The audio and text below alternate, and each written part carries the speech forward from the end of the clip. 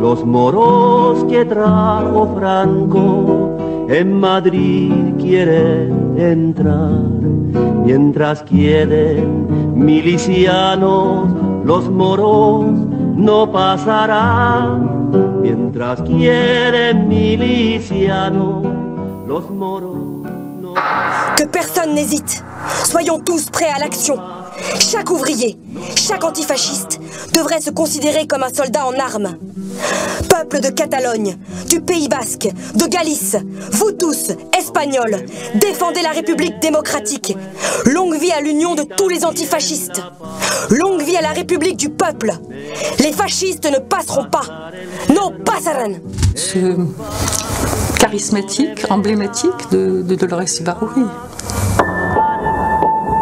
No pasarán porque eran los que venían rompiendo y comprometiendo al país y al pueblo. Y lógicamente era, era necesario luchar contra los que venían en esas condiciones y con esas características.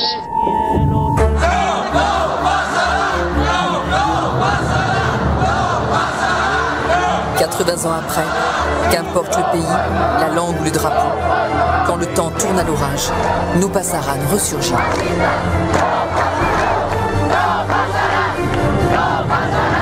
Como decía, muy buenas tardes, bienvenidos, bienvenidas a este acto organizado por Comisiones Obreras y por la Fundación Jesús Pereda.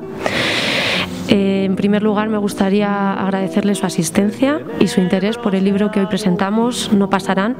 biografía de Dolores Ibarruri, Pasionaria. Y digo pasionaria y no la pasionaria como comúnmente la conocemos o la llamamos, pues tal y como se recoge en las primeras páginas del libro, el artículo La le hacía parecer una folclórica y como dice, decía ella misma, pues esto no, no le complacía. Como digo, es un privilegio para mí hacer la presentación de un libro sobre la vida de Dolores, una mujer. Me voy a quitar la mascarilla, me van a permitir, porque es que creo que se oye mejor y. Como digo, de una mujer como Dolores, cuyo retrato he visto colgado en la pared de mi casa desde que tengo uso de razón y por la que he visto a mi padre llorar como una Madalena el día de su muerte, como si de una compañera, una amiga íntima o un familiar se tratase, ¿no? Sin embargo, tras la lectura del libro me he dado cuenta de lo poco que la conocía. Con la lectura de, estas páginas, pues he conseguido acompañarla en su camino, poder sentir la fuerza en cada una de las palabras que dirigía a los combatientes, su valentía a seguir luchando por la causa a pesar de ser encarcelada en numerosas ocasiones, su dolor al separarse de sus hijos y sobre todo la impotencia al ver cómo todo aquello por lo que habían luchado y que se había conseguido se desvanecía. Creo que este último es un sentimiento compartido por muchos de los que hoy estamos aquí, que vemos cómo el fascismo avanza, se introduce sin que podamos erradicarlo de la manera que nos gustaría. Es, como digo, un, un, honor para mí hacer la presentación hoy de este libro y de su autor, Mario Amorós,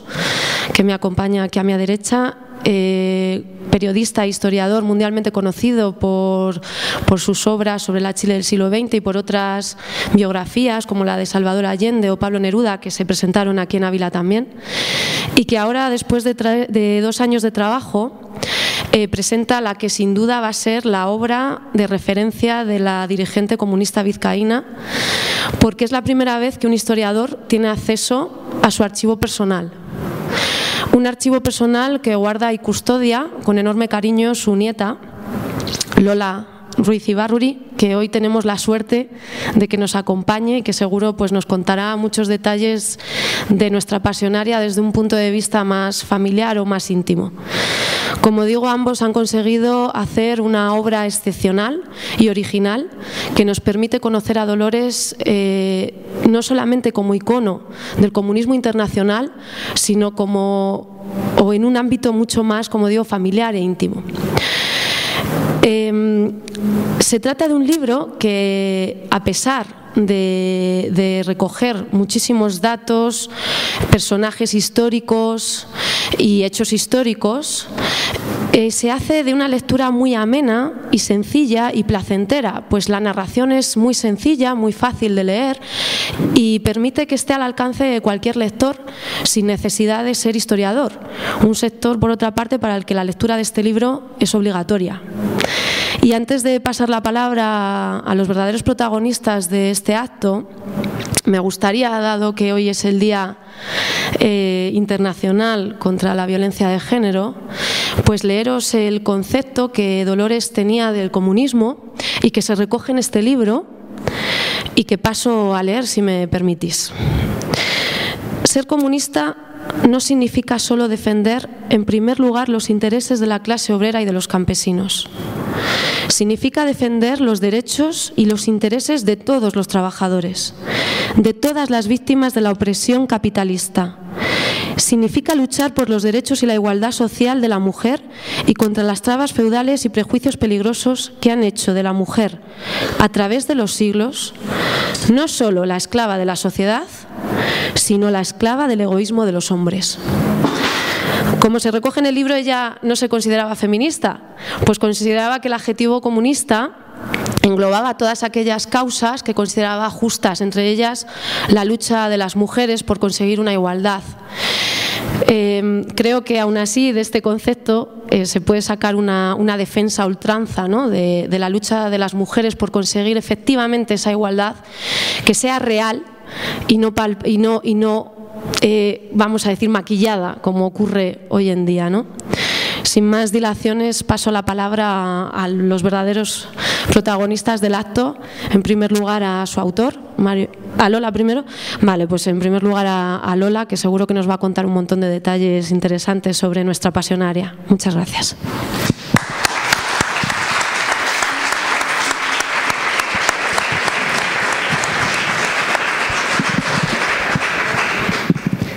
Buenas tardes. ¿Se oye bien? ¿O cojo en la mano el micrófono? Muchísimas gracias por venir, muchísimas gracias a Comisiones Obreras, a la biblioteca, a todos los aquí presentes. Muchas gracias, Malva, por esta maravillosa presentación.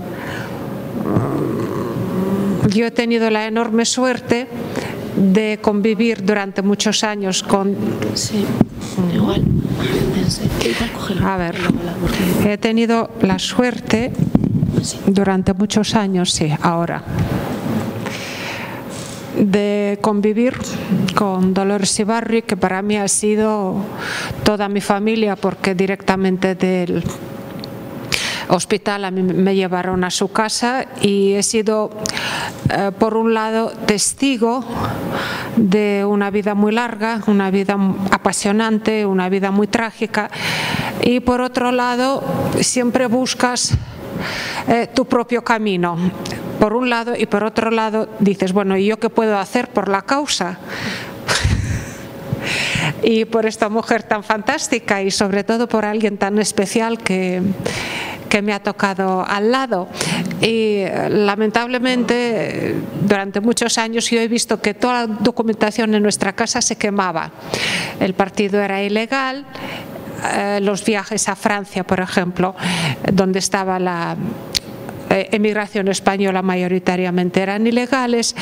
y por lo cual no se podía guardar nada, no se podía guardar documentos y poco a poco los documentos iban desapareciendo. Y daba una pena enorme porque esa sensación que estás viviendo historia y esa historia se desvanece y, se convierte en cenizas, literalmente, porque los documentos se quemaban, a mí me daba una tristeza muy grande y en algún momento he decidido que voy a sacar, salvar de la crema lo que me permitan sacar de la crema y luego, cuando sea posible, intentar sistematizar y guardar un archivo. De los primeros años de Dolores quedan muy pocas cosas porque sus documentos, sus papeles, sus artículos que ella escribía prácticamente todas las semanas y a veces a diario, eh, se guarda ningún borrador. Eh, al marcharse de Bilbao en el 31 a Madrid para trabajar en Mundo Obrero se perdió su primera juventud, los artículos que ella escribía para el minero vizcaíno y todo lo que ella hacía. Luego el traslado a Valencia durante la guerra, de Valencia a Francia, de Francia a Rusia, de Rusia a España. En fin, los documentos iban perdiéndose por el camino y eh, también las condiciones de la guerra impedían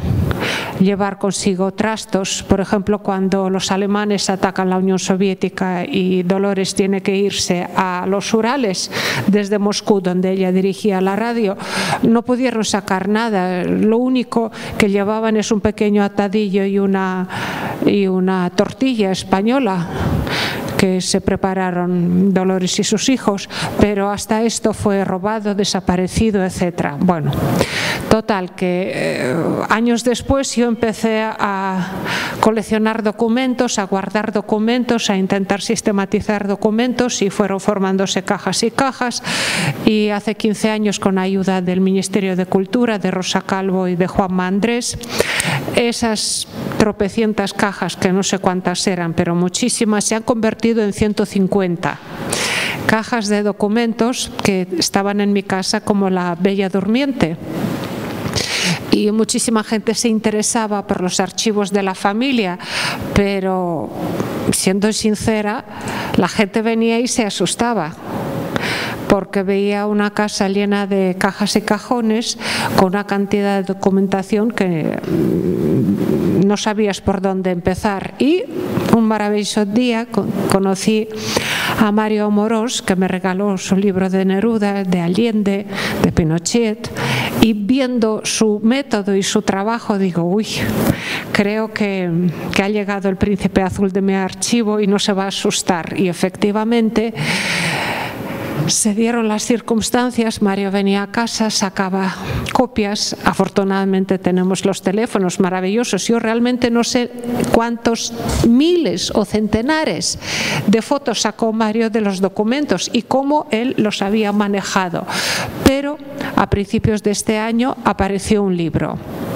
Y este libro que Mario generosamente me llevó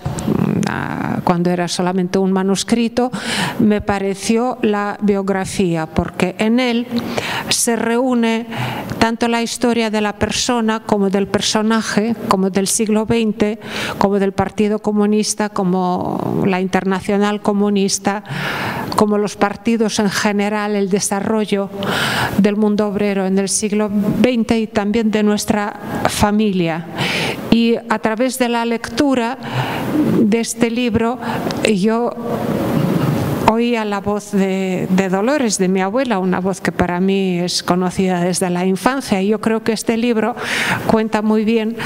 eh, varias facetas de su vida. La faceta de mujer, la faceta de una persona con una capacidad de empatía enorme, con una persona que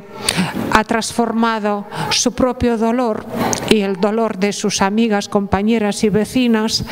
en su único camino, como tituló ella sus propias memorias. Ella eh, tenía una un sentido muy agudo de, la justicia y de la responsabilidad.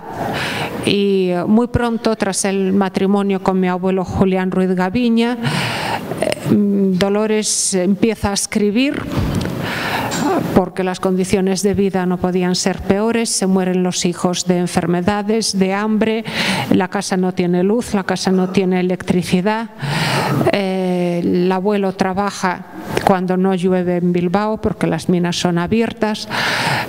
Y eh, la miseria, la desgracia, las enfermedades, pero no solo de ella, sino de todos los que la rodeaban, eh, y también Julián, que jugó un gran papel en el despertar de Dolores, en despertar su conciencia, la conducen a comenzar a escribir, porque ella eh, tuvo la oportunidad de estudiar hasta los 15 años y tenía una facilidad enorme, tanto para hablar como para escribir. Empieza a ser periodista a través del periodismo, se une a la política y se viene a Madrid. En esos momentos el Partido Comunista de España acaba de nacer, nace hace 100 años exactamente y nace en unas condiciones pésimas, en unas condiciones de ilegalidad. Y la vida de Dolores que se puede decir tuvo una infancia relativamente normal, se convierte en toda una serie de persecuciones, cárceles, luchas, eh, huelgas y su activismo, su deseo de cambiar la vida y cambiar el mundo, la conducen a través del periodismo a la lucha política. Eh, en, el año 31 ella viene a Madrid, pero son unos años muy difíciles en la vida de España y ella escribe sobre los mineros, mineros de Asturias sobre las huelgas, las luchas, la represión tan tremenda del año 34 baja la mina con los mineros y para ella yo creo que esa conciencia de necesidad de cambiar el mundo cambiar la situación social en un país donde todavía quedaban restos de feudalismo, se convierten, la convierten en la voz de aquellos que nunca tuvieron voz. Y por eso ella acepta ser elegida diputado cosa que ocurre en el año 36. Creo que este libro cuenta muy bien como una chica de pueblo eh, con una madre soriana y un padre vasco, está eh, a través de los libros, a través de la observación, toma conciencia y tiene la fortaleza suficiente y, es consecuente en eh, la necesidad de, la necesidad de, de, luchar el mundo. Y ella entra en la política y descubre una maravillosa voz que luego la hace famosa en todo el mundo y esa voz la, es la que la transforma en mito, pero también la transforma en mito yo creo que el desarrollo del periodismo, porque aparece la radio, aparece el cine, me refiero a una amplia escala, y ella se convierte en un símbolo, siempre de negro, de luto, que viste desde la adolescencia, cuando empiezan a morir hermanos, abuelos, hijos, y se convierte en un símbolo de la resistencia y se convierte en un símbolo de la defensa de los intereses de los trabajadores. Esta defensa de los intereses de trabajadores la lleva en el año 33 a Moscú, su primer viaje al extranjero y a Moscú, que Moscú parecía muy lejos, de hecho lo está, y en el año 33 parecía otra galaxia. Y allí eh, la preguntan cómo ve ella el movimiento obrero y cómo ve ella la política y la situación europea en vista del fascismo en Italia y el auge del fascismo en Alemania la subida de Hitler al poder y entonces es la primera vez cuando ella plantea que los partidos tienen que abrirse a, todos los trabajadores, tienen que abrirse a los sindicatos y que hay que formar unos frentes, unos frentes populares para defender los intereses de los trabajadores, para defender eh, sus derechos y defender los derechos de las mujeres, los niños, los ancianos y cambiar el mundo. A partir de ahí ella vuelve a España siendo ya una conocida dirigente, podemos decir, porque eh, la Internacional Comunista jugaba un gran papel apoyando estos pequeños partidos mayoritariamente ilegales de los años 20 y 30 en Europa. Estalla la guerra y su voz se convierte en la voz de la resistencia. De eso les hablará Mario porque él ha estado estudiando en todos los archivos, en todos los documentos, en todas las revistas, en todas las grabaciones de radio, todo lo que se oía, lo que se leía. Eh, en aquella época. Dolores se convierte en un mito con sus discursos, con su determinación de defender Madrid. También en la área internacional, Dolores va a Francia, e intenta eh, negociar con Blum, el jefe de gobierno de Francia, para que ayuda a la República Española diciendo que si la República cae los siguientes van a ser ellos. León Blum no la hace caso, León Blum pasa unos cuantos años en los campos de concentración nazi, a continuación y media familia suya muere en, el holocausto. Total, la guerra acaba con la derrota de la República, Dolores Ibarri va a Rusia y ahí sigue eh, su enorme trabajo iniciando la Radio Pirenaica. La Radio Pirenaica nace el 22 de julio del 41, un mes después del ataque de los alemanes a Rusia. Imaginaros lo que era aquello. Moscú era bombardeada. Eh, la radio estaba en un palacete, bueno, un palacete no, en un hotelito de madera. Eh, los eh, que trabajaban en la radio tenían que utilizar todo momento cuando no caen bombas y cuando las voces a través de, la radio no avisan que, que hay peligro aéreo. Entonces no salían de ese hotelito de madera, estaban esperando un momento para grabar y para lanzar la voz, en este caso de la Pirinaica, para eh, animar al pueblo a seguir la lucha, para decir que el fascismo no va a ganar la, la, batalla y era tremendamente peligroso porque cualquier bomba que caería en el hotelito acabaría con la radio y todos sus colaboradores. Imaginaros cómo arde eso. Por un lado la madera, por otro lado las cintas. La guerra termina. Alemania es derrocada, sin embargo Franco se queda donde está y empieza una enorme lucha por, entre otras cosas, diseñar el futuro. Eh, del 56 el partido lanza la idea de la reconciliación nacional y Dolores, por supuesto, está en la vanguardia, es una idea suya, es una mujer fuerte, es una mujer eh, brillante, pero los años pasan para ella y todos sus altibajos, todas sus dudas, todos sus problemas y dramas de la madurez también encuentran un claro reflejo en este libro. Dolores vuelve a España en el año 77, es diputada de nuevo por Asturias y de nuevo esos documentos, los documentos de la campaña electoral, los documentos de su presencia en el Parlamento encuentran reflejo en un libro que para mí es la biografía más completa del personaje, de la época y también del mundo como era de un largo siglo XX. Podemos preguntar, y bueno, ¿y merecía la pena? ¿Y qué es lo que ha cambiado? ¿Y con lo que está ocurriendo ahora, con las divisiones sociales? Pues sí, eh, queda vigente un amplio frente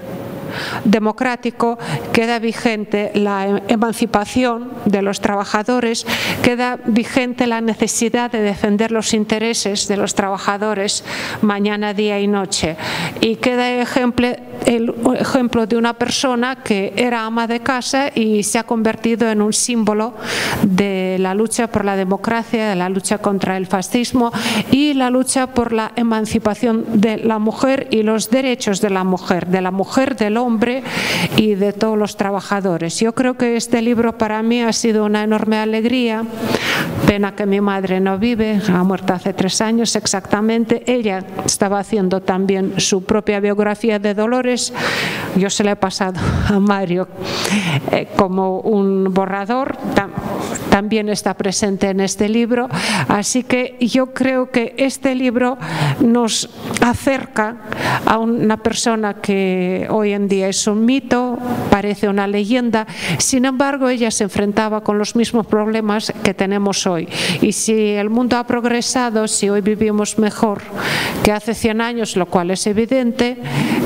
gente como Dolores ha dejado su vida y Mario Amorós ha dejado una constancia y un precioso, muy interesante testimonio de cómo era esa gente, cómo era su tiempo y por qué sigue siendo vigente su enorme labor. Muchas gracias y muchas gracias Mario.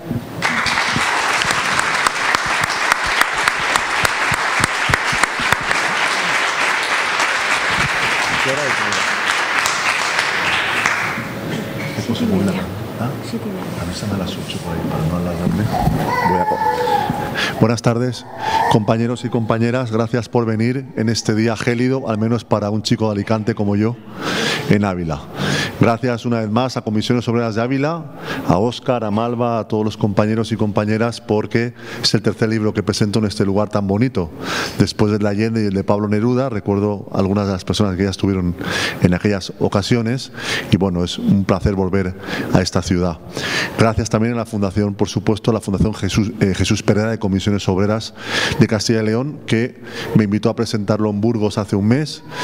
Teníamos que haberlo presentado en Ávila hace tres semanas, pero una semicatástrofe familiar lo impidió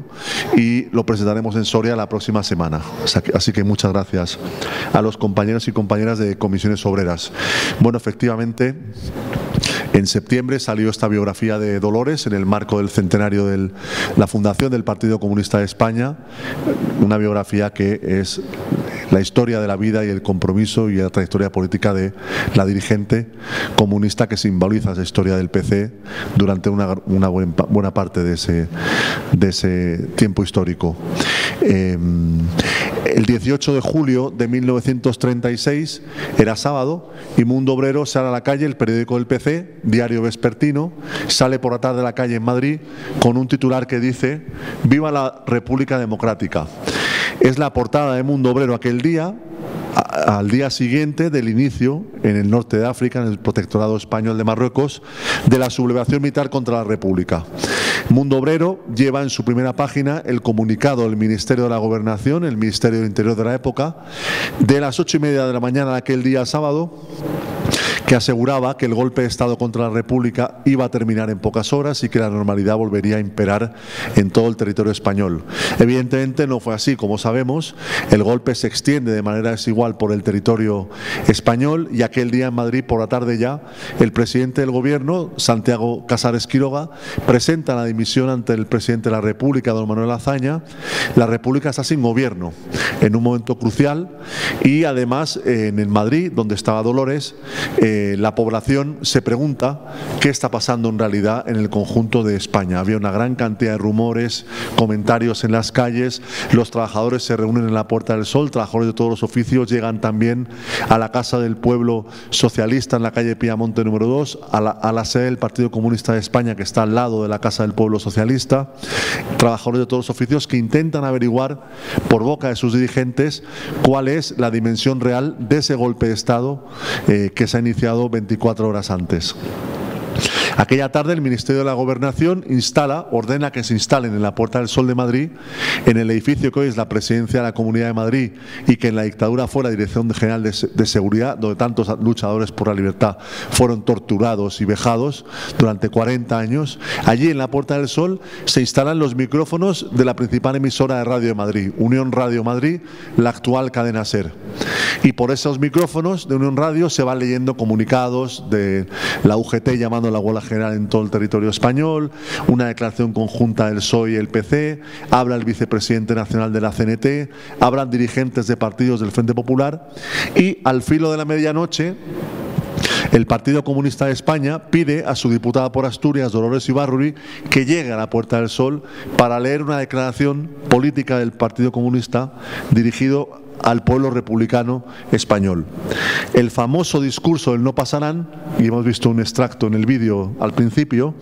no, no fue exactamente un discurso de Dolores Ibarruri, fue un llamamiento del Partido Comunista de España, leído por Dolores, Dolores Ibarruri a los 10 minutos del 19 de julio de 1936, de pie en el Salón Canalejas del edificio de la Puerta del Sol. Esta es la noticia de Mundo Obrero. Al día siguiente el, el discurso no pasarán se presenta, se publica, se reproduce en todos los periódicos republicanos, también en el periódico del Partido Socialista y también el Mundo Obrero, y es eh, ese discurso en el marco de aquella sublevación militar que semifracasa o, o semitriunfa en el territorio español y que a lo largo de julio y agosto del 36, ante el apoyo de las potencias fascistas a los sublevados y en particular a Franco, se transforma en una guerra civil. Y en la epopeya y la tragedia de esa guerra civil se forja el mito de Pasionaria, la mujer que representa ante el mundo la resistencia del primer pueblo que levantó las armas para detener el avance del fascismo en el mundo, el pueblo republicano español, que en aquel verano del 36, por ejemplo, muy cerca de aquí, en Guadarrama, del otro lado de la zona de Madrid, los milicianos, aquellos campesinos y aquellos obreros que se unen a las milicias populares, lograron parar a las tropas de Mola que querían avanzar hacia Madrid. En ese contexto, en aquel verano del 36, la figura de Dolores llega a la prensa internacional, el discurso No pasarán se traduce a varios idiomas y esa consigna da la vuelta al mundo,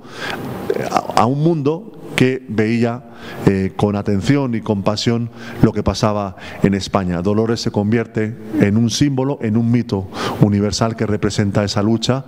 Algo increíble si pensamos, como decían Malva y, y Lola, que Pasionaria nace en 1895 en el corazón de la cuenca minera vizcaína, en Gallarta, un lugar impresionante donde presentamos allí el libro el sábado pasado, que les recomiendo a todos si visitan Bilbao que se acerquen a Gallarta porque hay un museo de la minería del País Vasco extraordinario que reconstruye muy bien cómo era la época en la que nace Dolores. Hay en el museo también una sala dedicada a Pasionaria donde Lola ha cedido objetos personales, libros de la biblioteca de Dolores, muy bonito, eso algo muy bonito y uno de verdad se imagina eh, cómo era la vida de los trabajadores de la minería vizcaína hace un siglo en los montes, esos montes formidables de Vizcaya teñidos de verde. Dolores nace allí en el momento de apogeo de la explotación de las minas de hierro, en el momento en que se forja el capitalismo vizcaíno, tan importante en la historia del siglo XX y actual en España, se fundan los bancos de Bilbao Vizcaya entonces,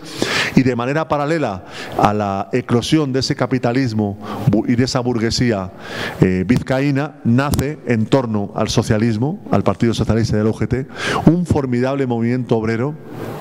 que se extendió por aquellos montes, por aquellos pueblos mineros eh, de manera eh, eh, muy notable. Ya hay concejales socialistas a principios del siglo XX en Gallarta, en La Arboleda, en Musquiz y en otros pueblos y está la estructuración de ese movimiento sindical que fue tan importante en la historia de, de España y que marcará la vida de Dolores porque ella, aunque es de una familia católica, conservadora políticamente, carlista, ella nace y crece en un entorno donde donde la conmemoración del 1 de mayo es algo extraordinario, donde el recuerdo de la Comuna de París, tan importante para aquella generación de revolucionarios, fue fundamental en su educación política y donde esa niña, Dolores, aprenderá canciones proletarias que cantó en reuniones con sus camaradas en el exilio o incluso en mítines del Partido Comunista a su retorno a España. Dolores va a la escuela hasta los 15 años ella, su maestra, doña Antonia, le transmitió una gran vocación por la pedagogía. Dolores quiso ser maestra. Fue el primer anhelo de su vida que se vio frustrado por distintas razones que relato en el libro y eh, lamentablemente no pudo seguir ese camino y bueno, como tantas jóvenes de la época, pues eh, se apuntó a un taller de costura para aprender a coser y trabajó como tres, tres años como empleada en una taberna del pueblo de la Arboleda, cercano a Gallarta, taberna que aún existe hoy y eh, trabajó también como empleada para una familia de comerciantes de Gallarta. Esa vida, la vida normal de una muchacha de los años 10, en los años 20 eh, en Vizcaya, cambia cuando Dolores decide casarse con un joven, con un minero socialista, un militante obrero y sindical formidable, que se llamaba Julián Ruiz Gaviña. Julián, nacido en 1890 en el pueblo de Musquiz, militante socialista desde los 13 años,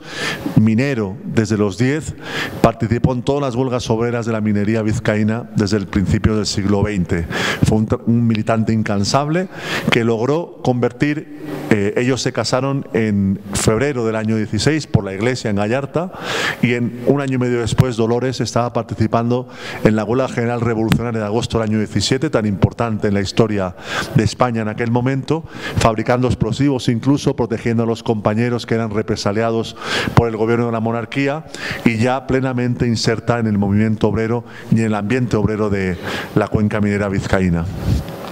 Viene la revolución en Rusia del año 17 que cambiará la historia del siglo XX, que cambiará la vida de Dolores y ella a final de aquel año 17 ingresa en el Partido Socialista Obrero Español. Dolores fue militante del PSOE y esto ni siquiera los socialistas lo saben durante dos años. Ella lo dejó escrito en sus primeros textos autobiográficos para la Internacional Comunista que conserva Lola en su eh, fantástico archivo y dejó anotado ese paso de dos años en un momento crucial en la historia de los partidos socialistas, puesto que después de la revolución en Rusia, en marzo del año 19, Lenin funda la Tercera Internacional y se abre en todos los partidos comunistas del mundo el debate sobre la adhesión a la Internacional Comunista. Por ejemplo, el Partido Comunista francés aprobó en su Congreso de Tours mayoritariamente, diciembre del año 20, la incorporación a la Internacional Comunista. En el caso de España, el PSOE tuvo que dedicar tres congresos extraordinarios a ese debate eh, y el último, abril del año 21, lo ganaron Pablo Iglesias, Largo Caballero, Indalecio Prieto y aquellos sectores partidarios de mantener al PSOE dentro de las filas del movimiento socialista internacional. Y ahí se produce la segunda escisión procomunista dentro del PSOE y los dos partidos comunistas creados el año 20 y el año 21, nacidos de escisiones del PSOE, se funden, se fusionan por orden de la Internacional Comunista el 14 de noviembre del año 21 y dan lugar al Partido Comunista de España. Por eso recientemente se ha conmemorado el centenario, el 14 de noviembre, de la fundación del PC. Dolores fue fundadora del Partido Comunista en Vizcaya, no tuvo ningún rol protagonista a escala nacional, aunque la propaganda evidentemente del PC, sobre todo en el exilio, dirá que fue una de las artífices de la fundación del partido. Eso no le quita ningún mérito porque el, Vizcaya fue uno de los pocos lugares donde el Partido Comunista arraigó con fuerza en su origen. Allí los comunistas dirigían el sindicato minero, el sindicato metalúrgico en el año 21. Y Pasionaria Dolores fue militante en la cuenca minera, repartiendo propaganda, asistiendo a reuniones en la Casa del Pueblo Comunista, en fin, eh, con una labor de apoyo también en las huelgas y en su caso con algo muy singular y muy notorio y muy bonito. ¿Por qué Dolores? Porque como había ido a la escuela hasta los 15 años y además sacó sobresaliente en, certificado de enseñanza primaria y aprendió, su maestra le transmitió la devoción por la lectura desde una época muy temprana, ella era capaz de escribir artículos políticos en la prensa y el primer artículo lo publicó en la Semana Santa del año 18 en el periódico El Minero Vizcaíno, del que no se conservan ejemplares,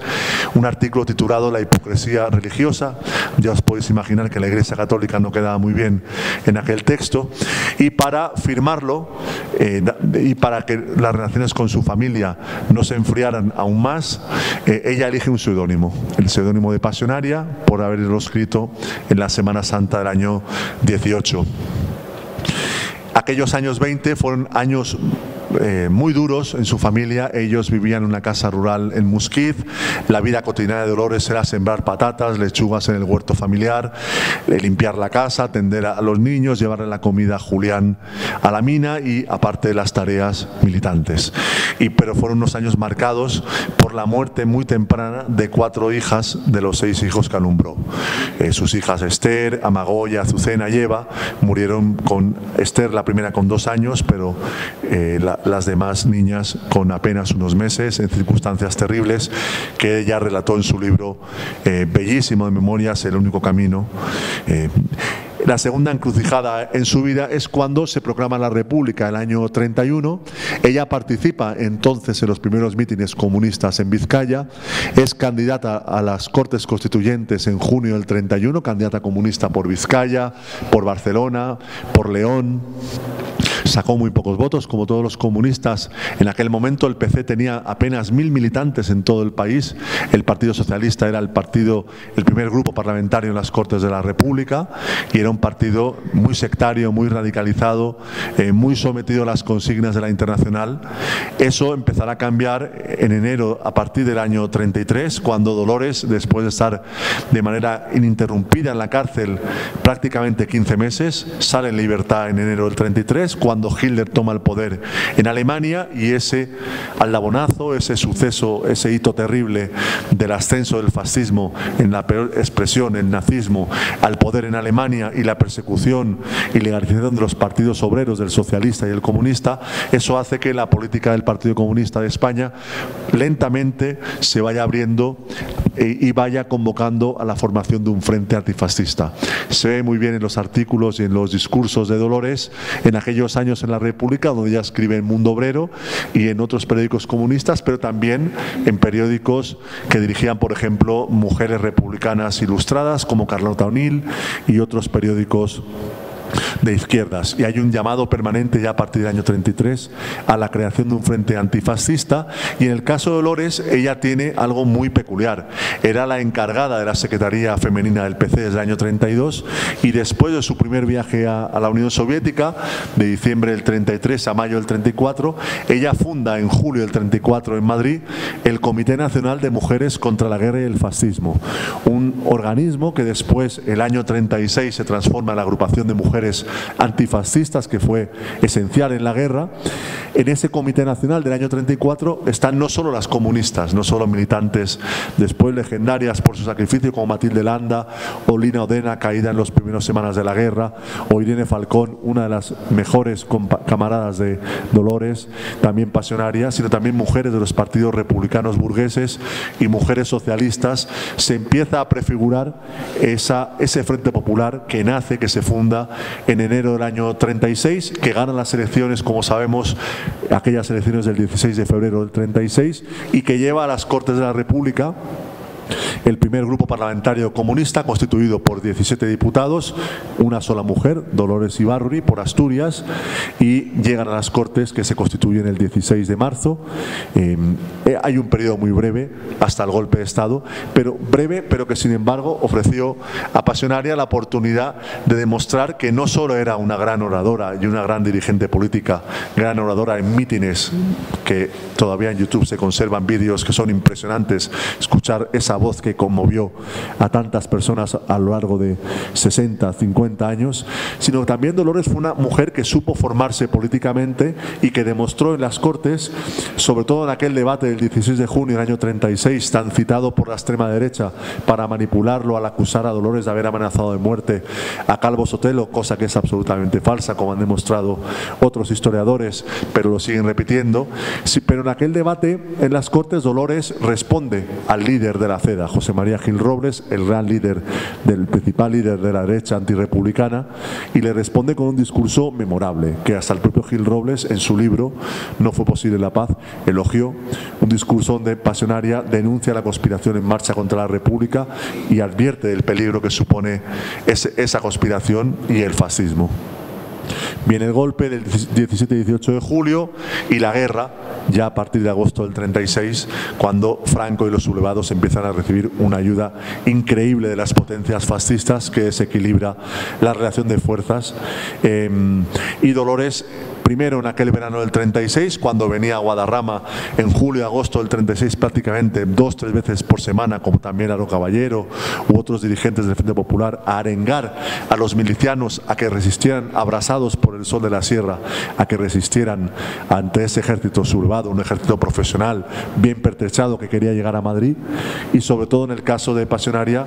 lo que citaba Lola, el viaje a Francia en agosto, a finales de agosto del 36, cuando se entrevista con León Blum, presidente socialista del Frente Popular en Francia, del gobierno, y sobre todo protagoniza eh, aquel mitin memorable en el velódromo de invierno de París del 3 de septiembre del 36 ante decenas de miles de personas, cuando en un discurso inolvidable que fue recordado siempre por generaciones antifascistas que asistieron a aquel mitin, Dolores dice aquella frase de más vale morir de pie que vivir siempre arrodillados y hace un llamamiento a la Francia antifascista que ayuden a la República Española, porque advierte que si Francia no ayuda a España y además cumple los acuerdos entre ambos estados, Francia más pronto que tarde sería agredida también por el fascismo, cosa que evidentemente sabemos que fue así a partir del año 40 con la invasión nazi de, de Francia. Y después el episodio impresionante de la defensa de Madrid en octubre, noviembre del 36, en circunstancias dramáticas, puesto que se pensaba que Madrid iba a caer en manos de los sublevados y Madrid logró resistir gracias al heroísmo de los milicianos, del quinto regimiento, de los soldados y oficiales leales a la República, a la llegada de la ayuda soviética, a la contribución de las brigadas internacionales. Madrid se salva y en aquellas semanas Dolores protagoniza mítines impresionantes en cines como el Capitol o el Monumental, que no existen hoy, y allí Dolores decía que era increíble ir a celebrar un mitin en una ciudad que era bombardeada a diario, la primera ciudad bombardeada desde el aire en la historia de manera masiva, diariamente, incluso los hospitales. Eh, y eh, bueno, Madrid se salvó, Dolores parte a Valencia a finales de noviembre del 36, estará en Valencia, estará en Barcelona y de allí se desplazará a los frentes de guerra, volverá a Madrid para actos y reuniones del Partido Comunista. Todo lo de la guerra ocupa tres capítulos en el libro, 150 páginas, centrado fundamentalmente en el papel de Dolores, también en la evolución de la política del Partido Comunista. Por supuesto, no eludo los aspectos más controvertidos de la guerra, en el caso del, Partido Comunista. Eh, explicados históricamente a partir de la documentación de los archivos y la guerra acaba en marzo del 39 de la peor de las maneras posibles, con un golpe de Estado dentro de la República contra el gobierno de don Juan Negrín, apoyado por el Partido Comunista, con un enfrentamiento fratricida sobre todo en Madrid y ese golpe hace que Dolores salga al exilio el 6 de marzo del año 39 desde el aeródromo de Monóvar en Alicante, a pocos kilómetros de, de mi pueblo, sale en avioneta Como Alberti, como Teresa León, como otros dirigentes republicanos y comunistas, y Dolores llegará a Moscú en abril del año 39 llega y se, eh, es parte del debate que tiene el Partido Comunista de España en el exilio en aquel momento, en Moscú, en la Unión Soviética, acerca de las causas de la derrota de la República. Es un debate ordenado por la Internacional para que otros partidos comunistas puedan extraer lecciones de lo sucedido en España. Viene la guerra mundial a partir de septiembre del 39, el Partido Comunista de España evidentemente apoya las posiciones soviéticas, también aspectos controvertidos, también de la pluma de Dolores, eh, y la guerra cambia para el PC y para Pasionaria con la invasión nazi de la Unión Soviética el 22 de junio del año 41, cuando una increíble maquinaria de guerra alemana invade por sorpresa la URSS y eso significa que, por ejemplo, se cree la radio Pienaica, que tiene a Dolores su primera directora y que eh, Moscú, a donde el ejército alemán llega a las puertas en solo 3-4 meses, es evacuado y Dolores sacada con otros dirigentes comunistas y con miles de personas al interior de la Unión Soviética, los Urales. El papel de Pasionaria en la guerra fue algo tan prosaico eh, como leer discursos por radio. Ella estuvo en Ufa, en los Urales, hasta el año 43, volverá a Moscú en, en la primavera ya del año 43 y se conservan en el archivo de Lola y en el archivo histórico del PC centenares, si no miles de páginas de, discursos de Dolores por radio comentando el día a día de la guerra mundial, llamando a los pueblos del mundo a unirse contra el fascismo, con incluso con eh, discursos dirigidos a los soldados españoles de la División Azul a que no siguieran luchando con, con los nazis, en fin, algo eh, que ha quedado anotado en esos discursos por radio, algunos se publicaron como folletos. Y para ella, claro, la guerra mundial supone, primero, la muerte de Pepe Díaz, el secretario general del PC, el año 42, en marzo en, Georgia, y en su caso, por el lado más personal, la muerte de su hijo Rubén Ruiz Ibaruri en los primeros combates de la batalla de Stalingrado, el 3 de septiembre del año 42. Era un joven de 22 años. Se conservan en el archivo Rola muchas cartas dirigidas a, a su madre, diciéndole que quería venir a España a luchar con la República, y vino en diciembre del 38, y en la última carta del 13 de agosto del año 42 que estaba en Stalingrado y que era parte de los primeros 40.000 defensores de la ciudad ante un ejército alemán que tenía más de medio millón de soldados en aquel momento. Muere Rubén y la guerra sigue y Dolores sigue leyendo artículos por la, por la radio, comentarios, como uno que leyó en octubre del 42, cinco semanas después de la muerte de su hijo, titulado Stalingrado, Faro del Mundo. Los soviéticos acaban derrotando a los nazis en febrero del 43 y dos años después acaba la guerra y Dolores regresa a Francia en un larguísimo viaje por tierra, mar y aire que Amaya, la hija, de Dolores y madre Lola, dejó muy bien relatado en sus memorias inéditas que he podido consultar. Llega a París Dolores con la esperanza compartida por todo el exilio republicano de que las potencias democráticas eh, devolverán la mano a la República Española, cuyos luchadores han sido esenciales en la derrota del nazismo en Francia. Para la liberación de Francia, como sabemos, eh, los republicanos españoles lucharon como héroes y contribuyeron como los que más a la derrota de y a la liberación de a la derrota de los nazis y la liberación de Francia, pero después de dos años de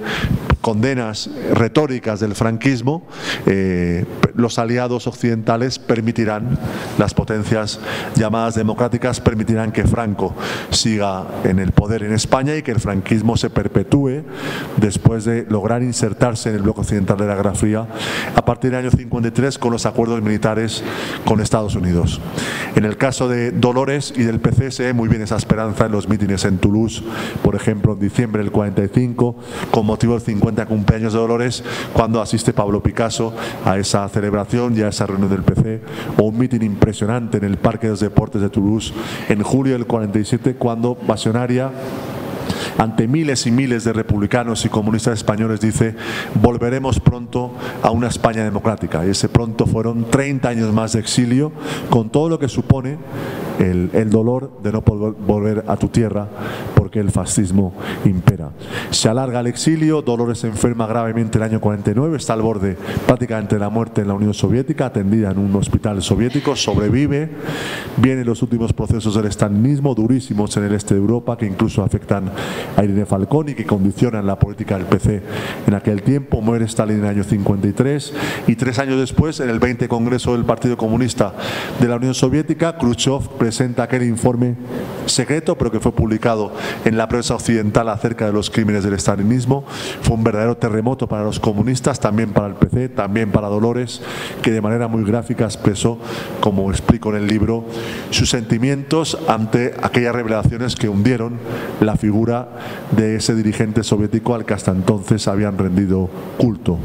y aquel año 56 también el PC lanza su política de reconciliación nacional tan importante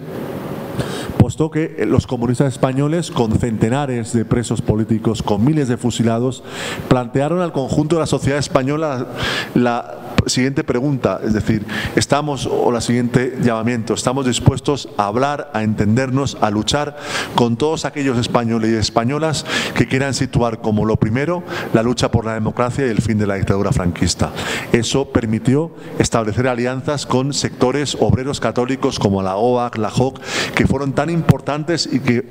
dieron con su paraguas de legalidad cobijo a aquellas nacientes comisiones obreras que se empezaron a estructurar. Primero de manera espontánea a finales de los 50 y ya en los años 60 con un sentido de organización y de estructuración y que fue el gran baluarte en la lucha contra la dictadura al incorporar a la lucha por la libertad a una nueva generación de militantes obreros, hijos de aquellos que hicieron la guerra, pero también hijos de quienes ganaron la guerra que en las fábricas, en los tajos, derrotaron al sindicato vertical y además contribuyeron enormemente a la lucha por la libertad. En los años 60 el PC se convierte en el partido del antifranquismo, a donde llegan todos aquellos que quieren luchar de manera eficaz por la democracia y por la libertad. Dolores ya no es la secretaria general del PC desde diciembre del 59, lo es Santiago Carrillo, pero Dolores es la presidenta del Partido Comunista y como tal tiene un papel importante, primero a través de la Pirenaica, como muy bien decía Lola, en el momento de las huelgas de Asturias del año 62 o cuando el fusilamiento de Julián Grimau, la voz de Dolores llega de muy lejos, llega a los hogares de los españoles para decirles que hay que luchar como en Asturias, que hay que luchar como los compañeros del metal en Madrid o en Jerez, en tantas batallas que dieron y luchar por la democracia y llamar a, unirse en la lucha por la democracia. Y en lo interno, dentro de la política del Partido Comunista, el papel de Dolores fue fundamental en el debate con Semprún y Claudín del año 64 y en el momento en que el PC, el año 68,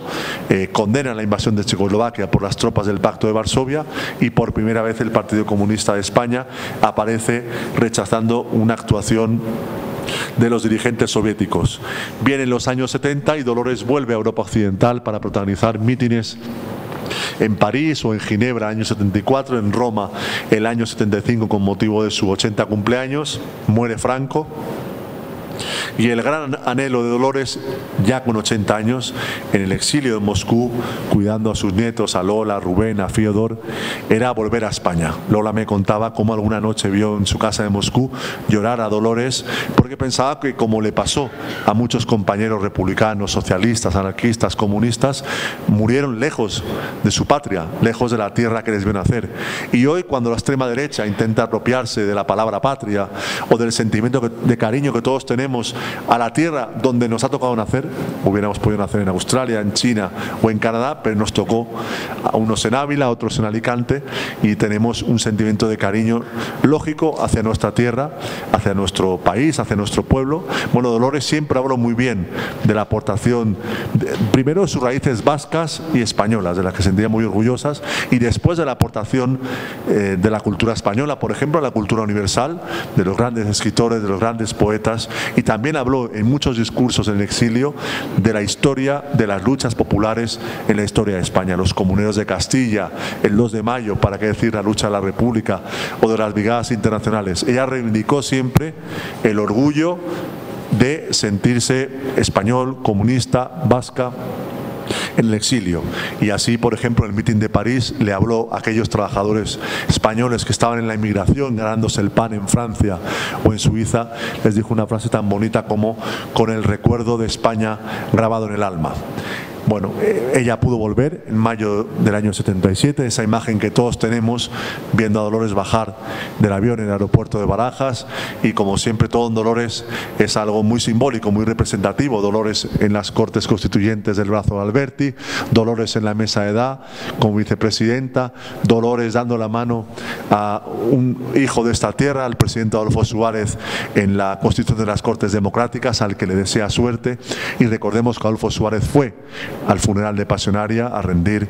eh, respeto a la figura de Dolores eh, y Dolores en el Parlamento acompañando el proceso de transición a la democracia. En los últimos años de su vida destaco como en un momento muy difícil para el Partido Comunista de España, de tantas divisiones, la debacle electoral del año 82, ella siempre llamó desde su convicción, desde su, fe y dijo más de alguna vez que ella siempre había tenido la fe del carbonero en el triunfo de las ideas a las que consagró su vida, llamó siempre a las comunistas y a los comunistas a militar en el Partido Comunista de España, a cuidar un partido muchas veces maltratado por algunos de sus dirigentes y a militar en el PC. Bueno, hoy Dolores estaría contenta de ver actos como este que recuerdan su figura y recuerdan la historia del partido al que dedicó su vida y también contenta de saber que su partido está vivo, está arraigado en el movimiento obrero, está presente en las instituciones, influye de manera importante por primera vez en el gobierno de España y ahí está la batalla por derogar la infame reforma laboral del Partido Popular. Y bueno, yo espero que mi biografía sirva sobre todo para que los jóvenes, Nicole, los que son más mayores que Nicole y los que vienen tras de Nicole eh, puedan conocer quién fue Dolores Ibaruri, que representa en su figura mucho más que su vida, representa la lucha de la clase obrera española y lo mejor de la historia de España en el siglo XX. Muchas gracias.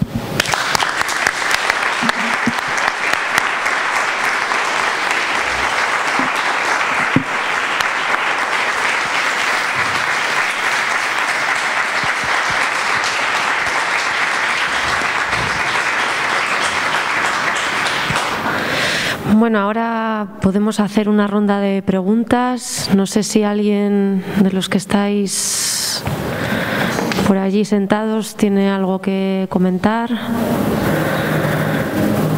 No se anima nadie. ¿No? Bueno, pues voy a empezar yo. A ver si así, ¿no? Eh, yo tengo aquí varias, varias cuestiones que, que me gustaría preguntar. La primera de ellas es en relación a Stalin. Em, en el libro hay una carta que Dolores dirige a Stalin por su cumpleaños y en el que le llama maestro, ¿no? Entonces, em, en esta carta eh, aparece un especial cariño, respeto, bueno, una visión muy positiva sobre, sobre Stalin. ¿no? Pero según va avanzando el libro, esto va cambiando y llega un momento en el que en sus discursos no le nombra. Esto me gustaría un poco, bueno, pues que nos explicaseis. Sí, sí, sí, sí. Perdón, me he agarrado el micrófono porque quiero decir que Dolores no tenía relaciones personales con Stalin, no, tenía, no colaboraba con él, le veía en la tribuna de los congresos y yo creo que la primera conversación con él fue al abandonar la Unión Soviética a principios del año 45, que Carrillo y Dolores fueron a despedirse de Stalin, a dar las gracias por el apoyo y hablar sobre el futuro de Franco, entre otras cosas Parece, parece, según la leyenda familiar, eh, se hizo una promesa de ayudar a la República Española a derrotar Franco como parte de la Segunda Guerra Mundial y los tratados con los aliados. Otra vez le vio personalmente en el año 48 estando en el hospital porque en el hospital se, se, encontraba el presidente de la Internacional Comunista, Jorge Dimitrov, que se estaba muriendo. Y Stalin fue a despedirse de Jorge Dimitrov y saludó a Dolores, pero en presencia del médico Bonifaci y también fue, digamos, podemos decir un encuentro personal, pero que ha durado instantes. Eh, el 70 aniversario que se celebró en Rusia con gran bombo y platillo, yo creo que era el año 49. Eh,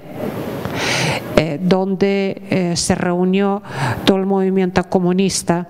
de la época, estaba Mao Zedong, estaba Ho Chi Minh, estaba Togliatti, estaban los franceses, Maurice Torres, Valdecroce y por supuesto eh, había una tradición, yo creo que esta tradición tiene algo de oriental, de rendir una especie de homenaje y rendir culto a la personalidad de Stalin. Sin embargo, yo creo que es más o menos una ceremonia tradicional que todos los comunistas de la época guardaban y sin embargo no existía ni una relación personal, había una admiración por un líder de un país como la Unión Soviética, pero también existía una enorme distancia. Y ahora paso a Mario el, el micrófono. Claro. Bueno, evidentemente todos los comunistas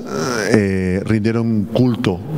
a la figura de Stalin hasta su muerte y hasta el año 56, hasta el informe del 20 Congreso del PECUS. Bueno, en el libro aparecen citas y citas de ese culto a la personalidad de Stalin, que en el caso del PC se refleja en los años 40 en un culto a la figura de Dolores. La celebración de los cumpleaños de Dolores hasta el año 56 era algo exagerado propio de la época, explicable históricamente, fue así. A nosotros hoy nos chocaría mucho, pero en el contexto de la época, un partido perseguido, un partido que la dictadura aquí quería aniquilar, la figura de Dolores era una figura que eh, estimulaba a luchar dentro de España. No se imaginan ustedes la cantidad de presos comunistas que antes de ser fusilados, en las últimas cartas que podían escribir a sus familias, citan a Pasionaria. Yo menciono en el libro un guerrillero gallego del maquis y un, una persona que como en España somos como somos, nadie sabe quién es, Cristino García Granda, en París tiene calles, tiene una calle a su nombre, en Francia en otros lugares, héroe de la residencia francesa, condecorado por el Estado francés con las máximas condecoraciones, que fue fusilado en Carabanchel en febrero del 46 y que en la última carta a su familia escribió sobre Dolores, tú eres, tu nombre es nuestro, eh, nuestra bandera. ¿no? Eh, bueno, ese es verdad que había un culto a la figura de Dolores y muy exagerado, con muchos epítetos. En el caso de, de la figura de Stalin, pasionaria, eh, su forma de hacer autocrítica, como muy bien decía Lola,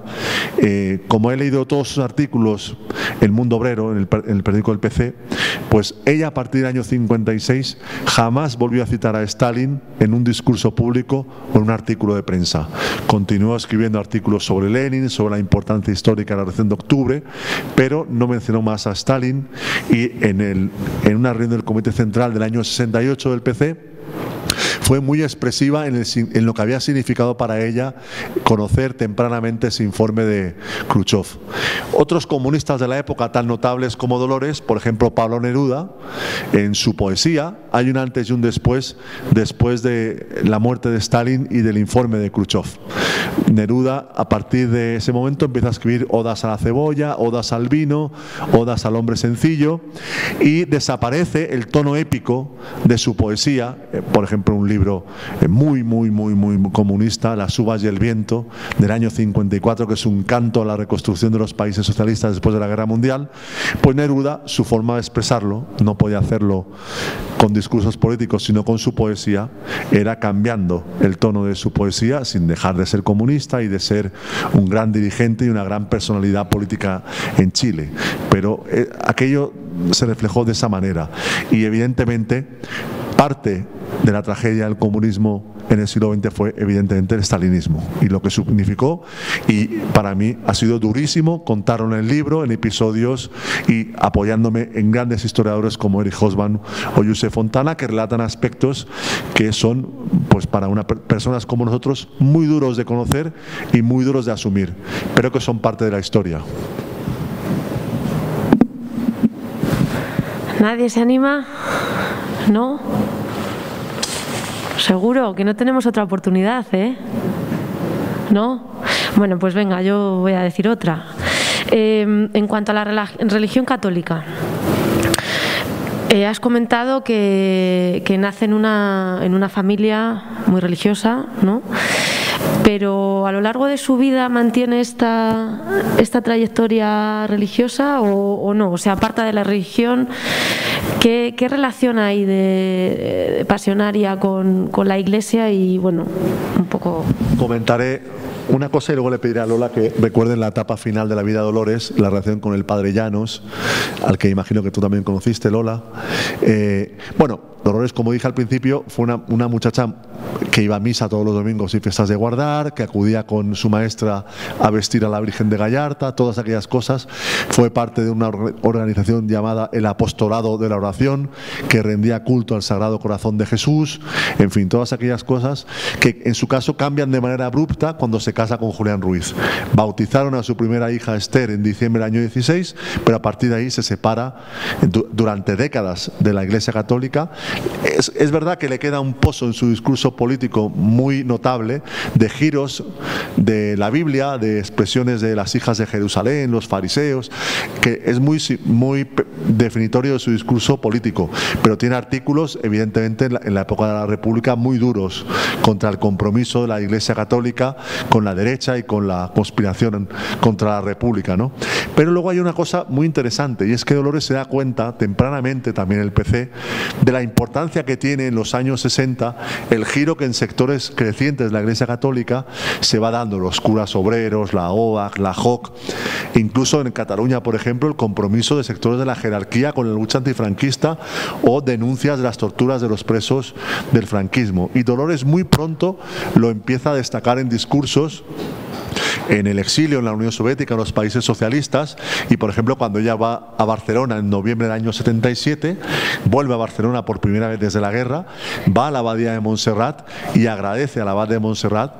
eh, el compromiso de, que han tenido con la lucha antifranquista, protegiendo a los luchadores, a los perseguidos y comprometiéndose con la lucha por las libertades. ¿no? Y en la etapa final de su vida, Dolores tuvo una gran amistad con el padre Llanos, militante de comisiones obreras, militante del PC, una amistad eh, muy bonita en, los últimos años de, su vida, que iba al Padre Llanos a Casa Dolores, con Amaya, no sé si Lola lo, vio muchas veces y nos puede contar algo de eso. Como ha dicho Mario, Dolores procedía de una familia católica apostólica romana y muy, muy conservadora. Lo que pasa que la crudeza de la vida eh, la ha llevado a la rebeldía y al rechazo del consuelo que daban los representantes de la Iglesia a los obreros, a los trabajadores cuya, vida era invivible. Y por cierto, hablando de Stalin, volviendo a los cultos de la yo creo que eso procede también de la Revolución Rusa. Eh, los rusos, que es un pueblo campesino, eh, tremendamente creyente, cambian los iconos y las imágenes de Dios por las imágenes de la Trinidad de eh, Carlos Marx, Engels y Lenin. Y entonces, si ustedes ven documentales, películas de época de la República y los congresos, usted ve a los clásicos del marxismo y también ve retratos que recuerdan imágenes de José Díaz y Dolores Ibarri. Yo creo que es simplemente una especie de eh, cita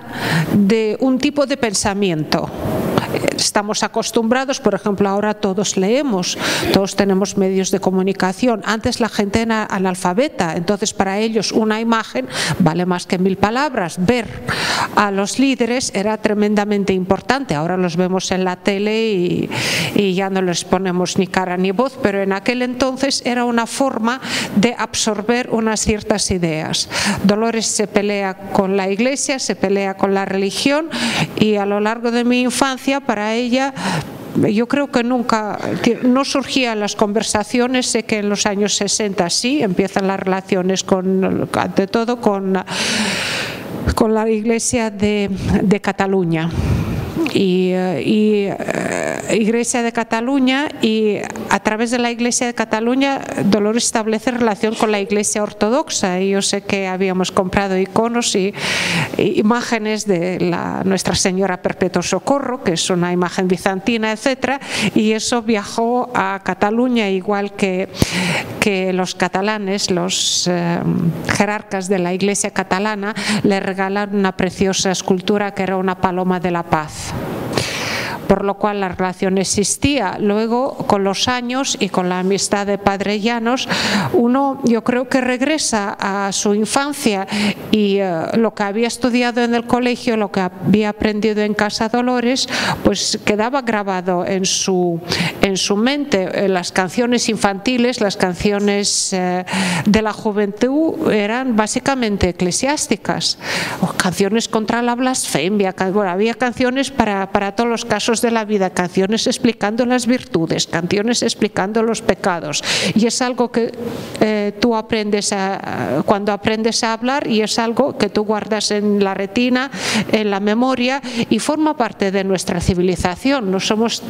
vemos Ávila y para nosotros eh, es, es nuestra cultura. Sabemos que hemos salido de aquí, hemos salido de la cultura greco-romana, hemos salido de la cultura cristiana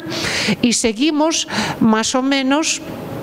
en una tradición europea y es algo que a nosotros nos une. Hay una exposición genial en, eh, en, la Caixa Forum en Madrid y ustedes ven, se llama La imagen humana a lo largo de los siglos y entonces ustedes ven que nosotros somos, venimos de ahí, de la tradición egipcia o, greco-romana y luego cristiana, porque cuando ve la tradición africana, iberoamericana o oriental, ve que esto no es lo nuestro por lo cual yo creo que los que nos hemos criado en eh, Europa, los que hemos leído a los clásicos europeos, tenemos un pozo enorme de cultura. Convivimos con las imágenes, convivimos con las palabras, cantamos eh, cánticos de toda la vida y, eh, es totalmente, es, es más que religión, no es religión, es nuestra civilización. Entonces nosotros formamos parte de esta cultura cristiana. Y Dolores sí era una persona religiosa, luego dejó de serlo y en sus años muy, muy, muy tardíos recordaba la infancia, recordaba de una manera muy tierna, muy entrañable y la recordaba con la familia, con el padre Llanos y con todos sus amigos. Muchas gracias, Bueno, pues muchas gracias. Un detalle, durante la guerra ella salvó unas monjas eh, les dio trabajo, los encerró en un piso, les dio tarjetas de racionamiento y las monjas trabajaban para hospitales y para orfanatos. Les dio trabajo porque evidentemente la guerra os, había que hacer algo. Esas monjas sobrevivieron, vinieron a casa de Dolores, dijeron que rezaban por ella, tenían una Virgen Dolorosa con el retrato de Dolores pegado con scotch, con pegamento detrás del icono, querían ella dijo que no, y estas monjas venían de, eran trinitarias, era de un convento que está en la calle, creo que Tortuga, en el centro de Madrid, y cuando la abuela murió, ellos hicieron una solemne misa con Padre Llanos y las monjas supervivientes de la guerra civil para recordar su memoria. En esa misa fueron todos los amigos, los creyentes, los no creyentes, pero es una forma de despedir, es una forma de celebrar y es una forma de entender nuestro mundo. Muchas gracias. Bueno, pues eh, antes de acabar el acto me gustaría aprovechar para invitaros el lunes que vamos a hacer una jornada contra la trata y la explotación sexual a las 7 de la tarde aquí en el Episcopio. Y por último, simplemente leer unos versos que le dedica Miguel Hernández a Pasionaria y en honor a ella, pues yo como profesora de lengua castellana y literatura no he podido eh, no leer esto, ¿no? que viene incluido en el libro y que bueno, pues me han gustado y, y lo voy a leer para terminar. Por tu voz habla España la de las cordilleras, la de los brazos pobres y explotados. Crecen los héroes llenos de palmeras y mueren saludándote pilotos y soldados. No pasarán. Muchas gracias.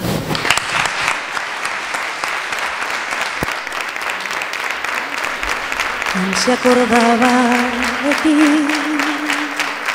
en la batalla del Ebro? ¿Quién serías tu Carmela? Cantada en la voz del pueblo, que miliciano te amó y fue dueño de tu cuerpo. ¿Quién se acordaba de ti en la batalla del Ebro? Ay, Carmela. Ay, Carmela.